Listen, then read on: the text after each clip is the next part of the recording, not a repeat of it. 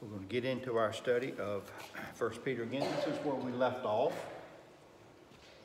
And Sunday before last, we were looking at the unjust setting, and we're talking about slaves in verses. Uh, I left my glasses at home, so uh, verses. The verses that's in that chapter. I think it's 17 through 25. I think it's what it is, if I remember correctly. But uh, he's talking about people living in an unjust situation in which they are unable to really do anything about it.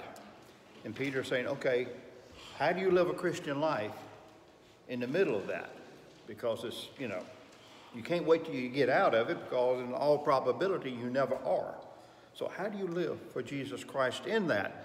And the two things that he had given back in verse 11 and 12 to abstain from uh, fleshly lusts that war against the soul, and to live such good lives that the pagans would know the difference. So Peter is saying you need to live in a radically different way as you face unjust situations.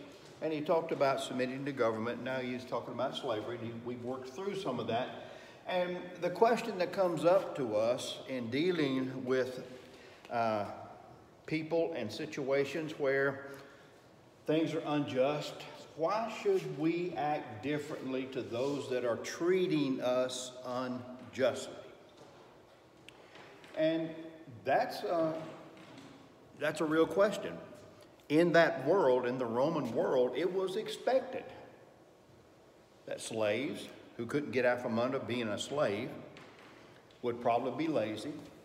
They would probably try to undercut the master, that they would be uh, an irritant to the whole situation. Maybe they would not be profitable, although some of them very much were. But by and large, this is what was expected of them. Peter saying do something radically different. But our question today is why should, why should we act differently to people who are being unjust to us? And Peter tells us in verses 19 and 20. He says, It is commendable if a man bear up under the pain of unjust suffering because he's conscious of God. And this is what we ended with that even if you suffer for doing good and endure it, this is commendable before God. And in that commendable, the word commendable here is the word charis for grace. And we've heard Matt preach about grace. And he said it is grace. It is a an example and a witness of the presence of the favor of God. When we live a different life in an unjust situation, where people expect us to be one way, but we live a radically different way to be a witness for the Lord. And the question that comes up to us is that do we put up with a bad situation being conscious of God? We don't do it to try to promote ourselves. We, we don't live differently so that we can say we're somebody, but we're conscious of giving an account to the Lord for how we've lived our Christian life. So as we think about, you know, facing unjust situations, facing being around unjust people, people that just grate on us, how do we live for Jesus Christ in that? We bear up, we endure, being conscious that we're doing it for the Lord. We're not doing it for them. We're being a witness to them. We're doing it for the Lord. So, you know, it's, it's something to think about because in this day and in this world, think about your jobs. Think about people that are working in other situations where things are going on that just simply doesn't make sense. How people act, how people are doing how do we present Jesus Christ? Because we can hardly talk about it anymore without getting in trouble. How do we do this? We live a radically different life, different behavior, different words before these other folks so that we want them to ask us, why? Why, why, why didn't you do why do you act like this when, you know, blah, blah, blah? And there's the, there's the door that the Lord opens for us to be able to witness to them. Questions, comments? Now, let's take us a little further. Do we apply these words only to, to those who attack our faith? Or does it include everybody who insults us? Now, we like to make that distinction. Well, you know, if somebody's persecuting me for my faith, then that's fine. I'll, I'll bear up on it. But if they ain't persecuting me for the faith, I'll give them one chance. The next chance is going to be bad, you know. Okay? How does, how does Peter's words apply here?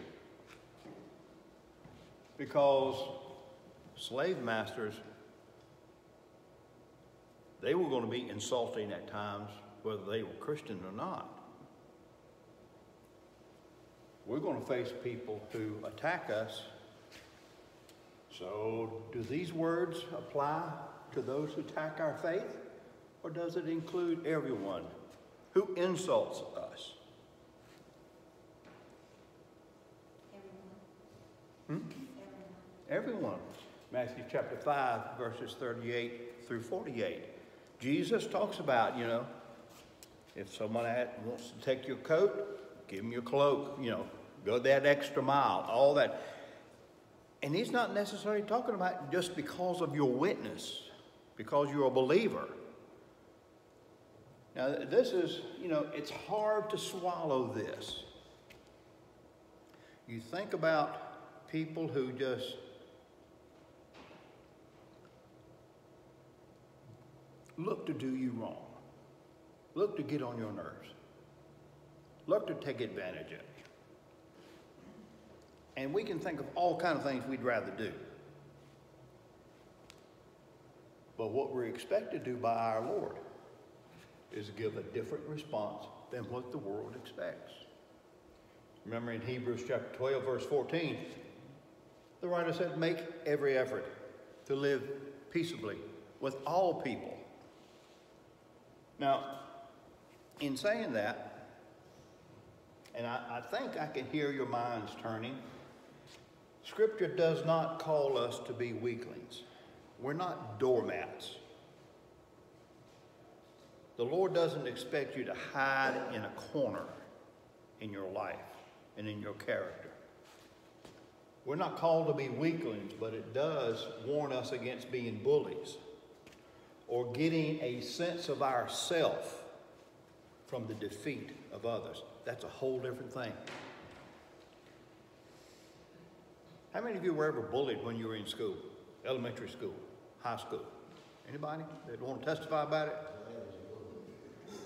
Well, when you were a freshman in Kansas, you got beat down one week a year. It's just, it had to be your week. Yeah, that was that was that was the tradition, I guess. You know, hazing.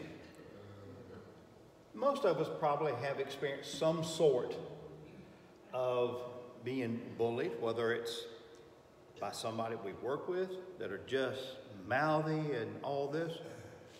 Or maybe we can remember back to school. Scripture doesn't call us to be weaklings, but not to be that type of person, not to be a bully. Don't get your sense of your self esteem because you've got over on somebody else. That's what most of us like to do. That's what most of the world expects us to do, but we live a radically different life. And we can't really say, well, it was Peter, Peter could say that to them. It was it was all right for them. It was easy for them to do it. No, not as a slave in the Roman Empire. It wasn't easy to do this. It's more easy for us to live this way than it was for them.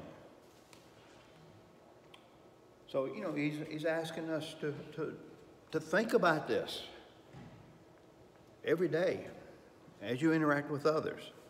Now, you got a question? You got a comment on that? I don't know why I'm turning to the page. You know, can't read what got hardly. Force of habit, I reckon. How do you feel about that? I wish it was that simple. Huh? I wish it was that simple. Yeah, it's not simple. Because usually by the time I'm already in the heat of the battle, I ain't even thinking about it. Yeah. I ain't. Uh, I ain't really worried about what God said about nothing. I'm dealing with this. Yeah, I mean, we've been there. We've, we've all been there. And this, this isn't an easy thing that Peter is, is asking, and the Holy Spirit is, is asking us to do through the words of Peter. It's not easy, but it takes real concentration. It takes real sensitivity to the Holy Spirit rather than to ourselves. And that's not an easy thing to do. But that's, it takes a lot of discernment, because to me, there are so many unjust situations. oh yeah, You get up and, and you go out and there are, it's like, there are, you go from one to another, yeah. that are really unjust situations. Mhm. But you have to learn when to say something and when not to, and, and when to. One thing that was very hard for me is typically I'm not a fighter unless I'm fighting daily, you know, then I can talk. But, uh, but, um. Oh yeah, y'all believe all that, don't you? Mhm. I mean, I could, but no, but, but I typically would run away.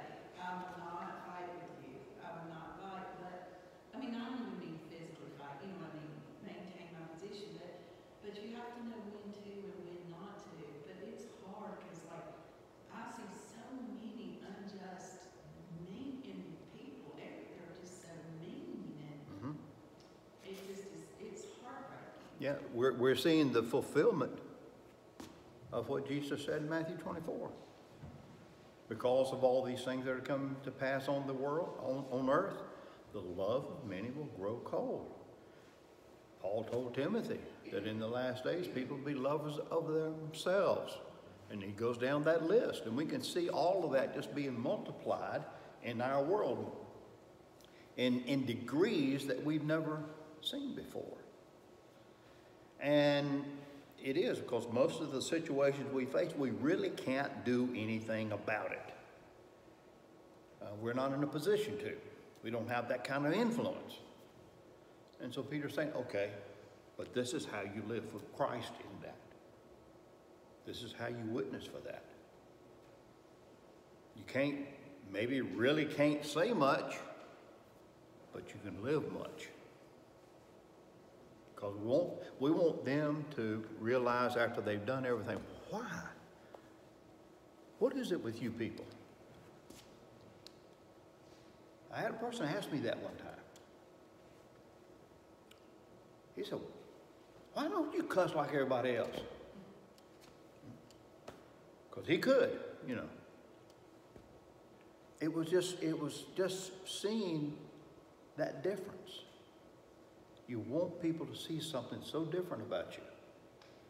But they ask you why. That's when you have the opportunity to do something for the Lord. Now, in thinking about not being weaklings, another question that comes up where's the line between making every effort to live peaceably with all men and defending ourselves or our families? Now, think about this passage. This passage is not speaking to self protection. In looking at it in the general, larger sense of our life today. Now, it's interesting that the New Testament is quite silent on self defense. How many passages in the New Testament do you know that speak to self defense?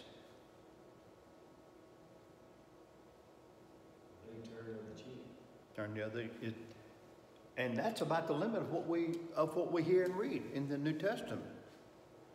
So, however, the interesting thing about this as we read Scripture, the Bible is freely using figures of contest, battle, and war in describing our journey in Christ.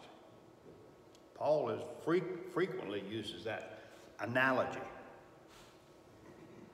Now, also, the New Testament doesn't condemn military service. Luke chapter 7, verses 1 through 10. neither John the Baptist nor Jesus Christ ever condemned military service. Matter of fact, it was a centurion to whom Jesus said, I have not found so great faith in all Israel as to this captain of a hundred in the Roman military who was dominating the nation of Israel at that time. So, knowing the line involves sensitivity to the spirit in the moment. And okay, do I have to put up with a situation if I can get away from it? No, you do not. 1 Corinthians chapter 7, verses 10 through 16, verse 21.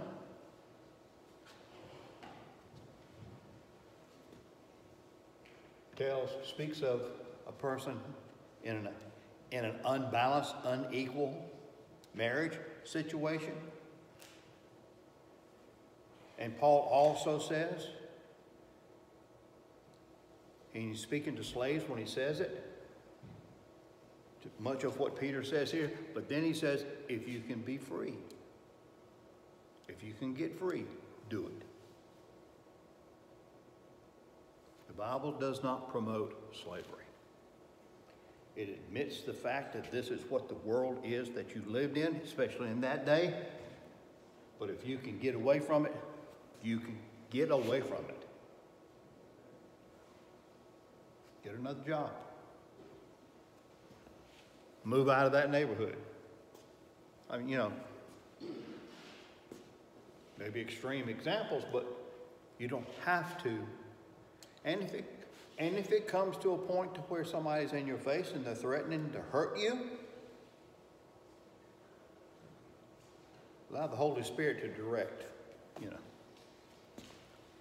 your self-defense. The Bible does not say you can't defend yourself. We're not pacifists. Now, some people believe that the Bible teaches that. If that's what you believe, that's okay. I'm not going to argue with you over it, except for the fact I don't think the Bible teaches that. So, do I have to put up with the situation if I can get away from it? No, you do not. It's kind of like what they used to teach. I don't know what they teach now, but what they used to teach when they were teaching your concealed carry. If you can get away from that situation, get away from it. Because that may determine as to whether you are the person being charged or the other individual. Now, if you cannot get away from it, then you stand your ground. But he said, if you're on the other side of the car, keep moving on away from the other side of the car, away from that individual. And that's what they said. Now, it may have changed now. I do not know. But in witnessing unjust situations. So,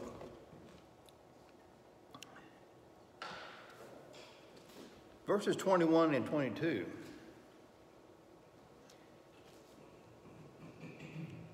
Peter says, To this you were called, because Christ suffered for you, leaving you an example that you should follow in his steps. He committed no sin, and no deceit was found in his mouth. We're called to live a different life. Just as we are called to become Christians, Peter said, You're called to do and to live like this too.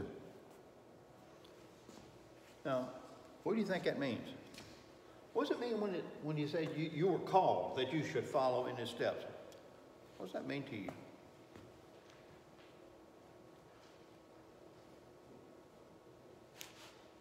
If you're saved,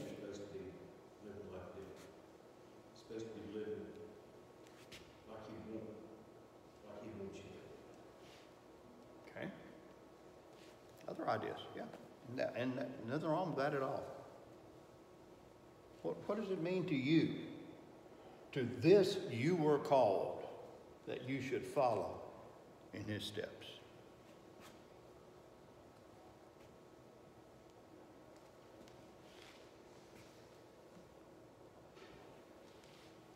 Then, how do we apply? How do you apply this into the situations of your life? Do you have an example where this worked for you?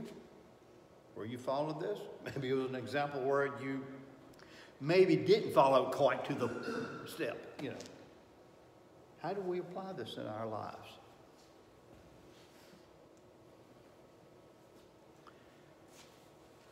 We're called to exemplify grace in unjust situations, the favor of God that has been poured out upon us, that we should follow in his steps.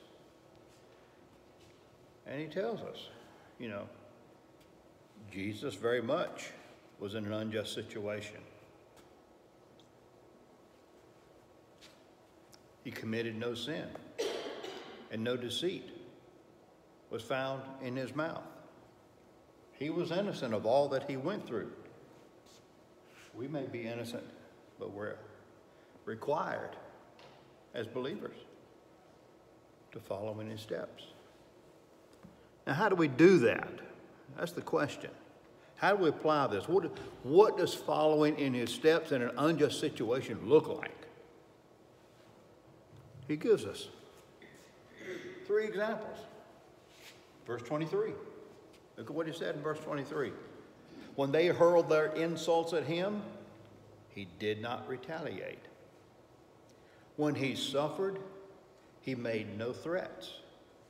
Instead, he entrusted himself to him who judges justly.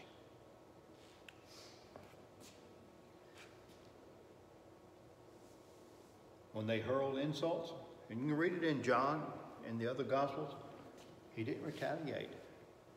Pilate even asked him and said, Why don't you say something?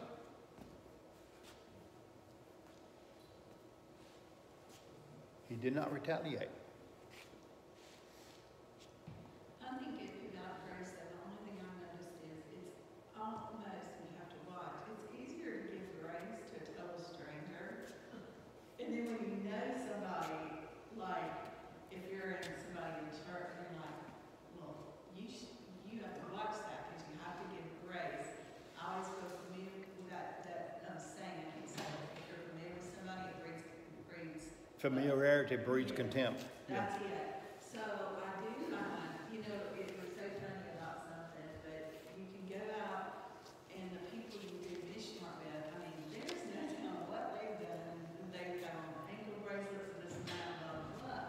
But it's okay, but then when you meet somebody head on in church, you have more of a tendency to go, you know, you have a higher expectation, but you really shouldn't have. So I do think you have to watch and give grace to everybody. Yeah. You don't know how stupid the stranger is. Yeah. Yeah, you could put it that way, and that's, that could be very true. Yeah. Well, the Bible tells us that God punishes those who are unjust to us. God's punish them. Yeah. It's His battle fight. Mm-hmm. Yeah. It's not gonna be battle. It's kind of like the saying I've seen before I have to let God fix it because if I fix it, I'll go to jail. How many times have you been in a situation where you, Lord, Lord, you better fix this, course. I'm, I'm fixing to pull my nine here, you know. And if you can escape, do it. But Grace to a point, but then when there's danger, you, you've got to move away from that. Or whose life is, whose life's it gonna be? The person unjust or the person that's bearing the brunt of Yeah. And, and you bring up a good point with that. Does grace only extend to us in trying to get out of a situation, or does it extend to us when we have to deal with the situation? I think grace is present there. It could very well be the grace that requires you to act in a self-defense manner to prevent something from happening to yourself or to your family or to friends or whatever it might be. Think it's grace that operates with that. or mercy for your bad decision, stay in it. Yeah. Yeah, yeah, I mean, you know, And you think, how can somebody that professes to be a Christian act so unjustly to cause harm to somebody? I Mhm. mean, and we see that all the time. yeah. There's hardly a week goes by on one of my news apps that I don't hear of some preacher or somebody somewhere that's done something that is just despicable and had been doing it for some time, you know.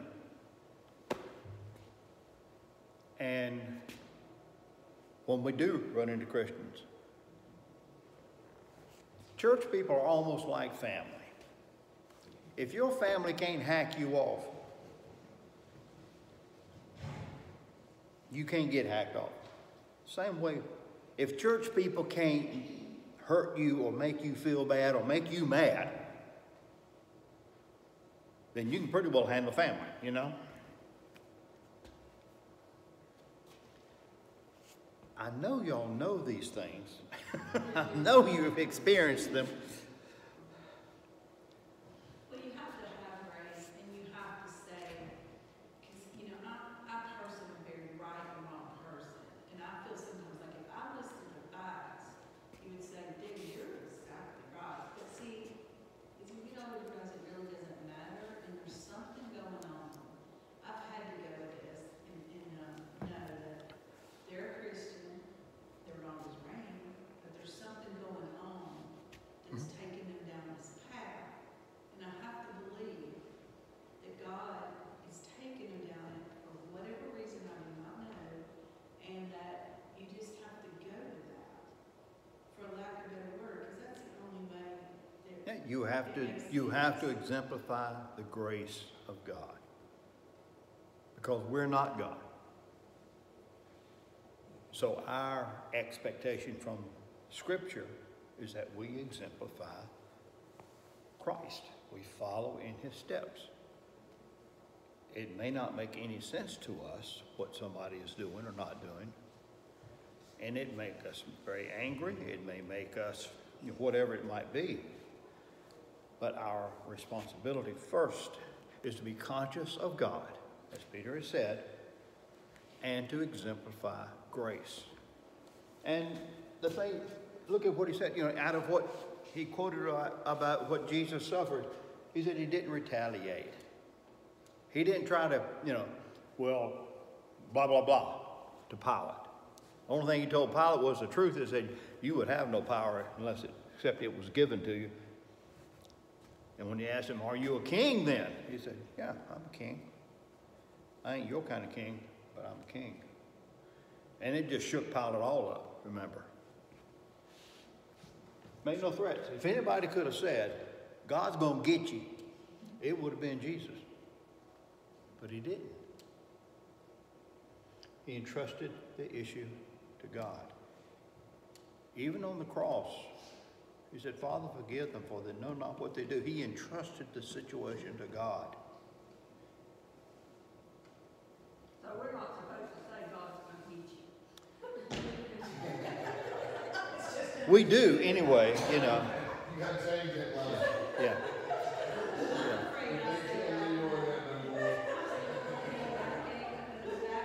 I knew I finally hit a nerve somewhere. Yeah. Well, if Jesus can part the seas, he can do it. And I'm not sure, I'm probably saying God can get you, really, that's Yeah, not, yeah. but I know that if God's gonna get you. Jesus, if Jesus can part the seas, he can deal with the situation. Yeah. And so, but in my mind, I'm probably thinking God can get you. Mhm. so. I, I heard of this one lady. She was a preacher's wife down in South Carolina. I heard of her. And, and somebody had stolen her pocketbook. And she was all bent out of shape about it. And one of the things that she said was, had bent her out of shape was the fact that, that, and I bet they'll, they'll, they'll repent and get saved and, and God will forgive them of it. Basically, before I can get to them, is what she was saying. You know. She didn't want God to get them, she wanted to get them. That's what, what, yeah. I just thought that was funny, and that stuck in my head for, I don't know how many years now. Bill, I have a question. Yeah. So if God, if anything that happens to us, it's because God allows it, Yeah. right? So anything unjust that happens to us, He allows it. Correct? Yeah.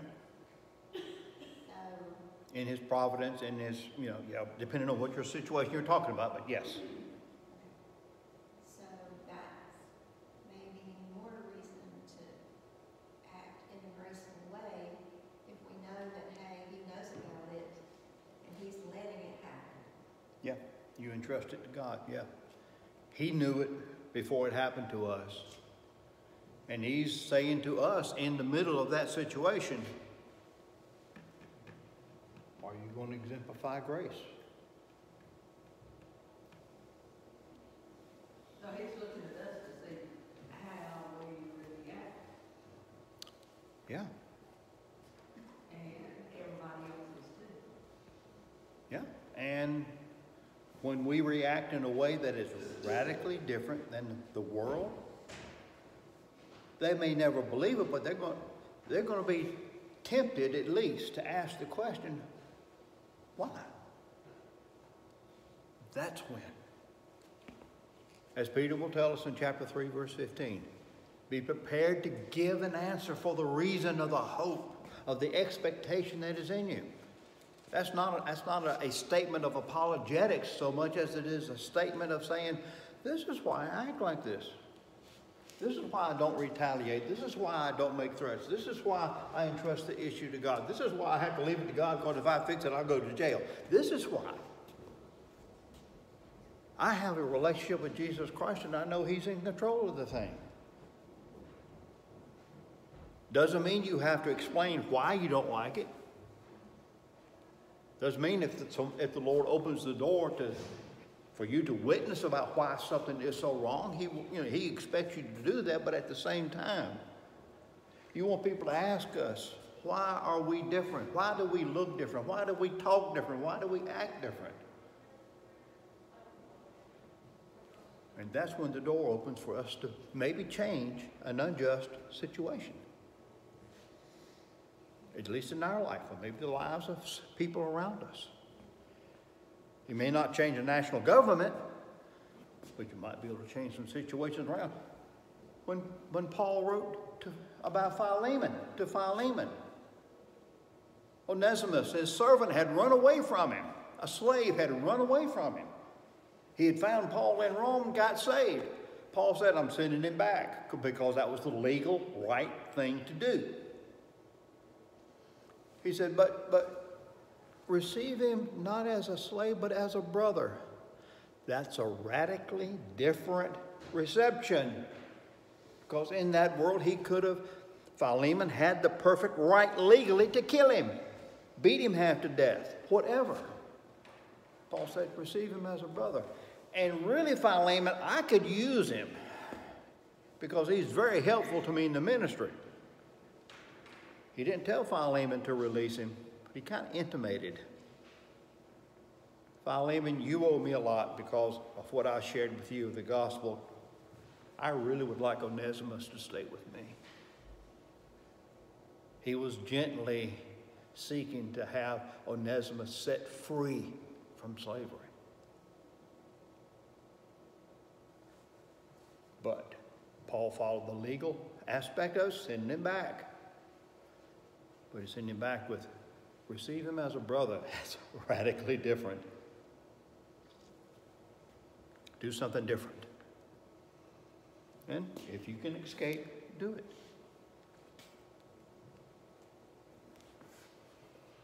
Now, just in case we think our situation in life is worse than what Peter's talking about, Jesus himself bore our sins in his body on the tree that we can live for righteousness. He went through all that unjustness so that we might be able to live for righteousness. He provided that for us.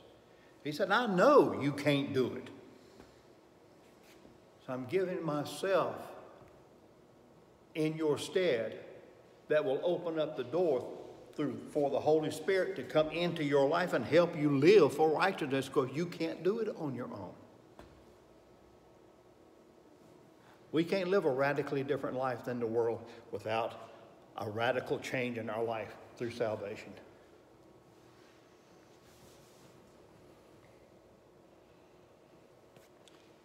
And as Peter says at the end of that passage, that for you were like sheep gone astray, but now you have returned to the shepherd and overseer of your soul. Lost sheep act like lost sheep.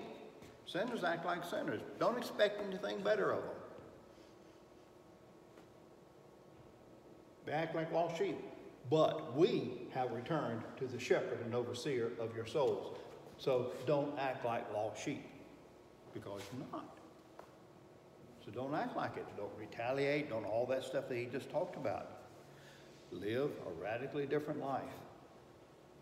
I mean, these, these words, we've read this, you know, a hundred times in our life. But he's talking about real life here. He's talking about how to live for Jesus in the middle of a really bad situation. Here's one thing about Jesus, before he was crucified, being beaten, spit on, Yeah. abused totally.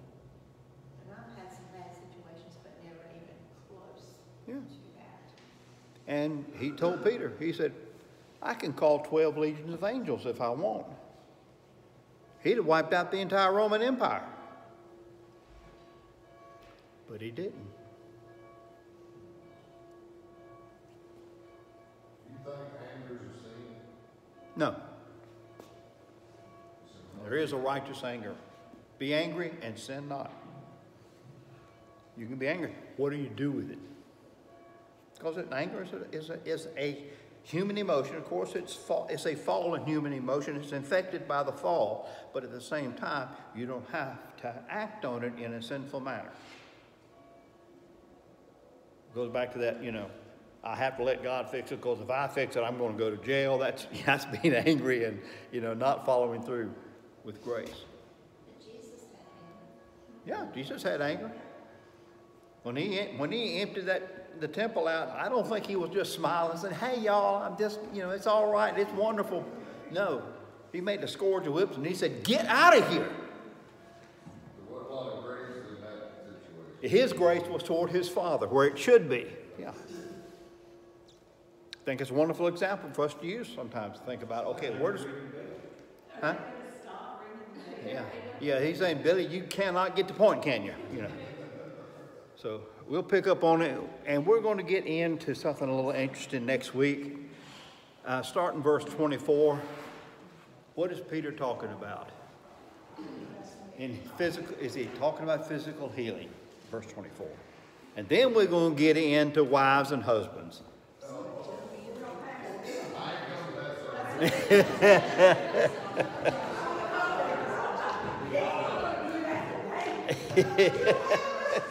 no, no. So we'll get into it next week.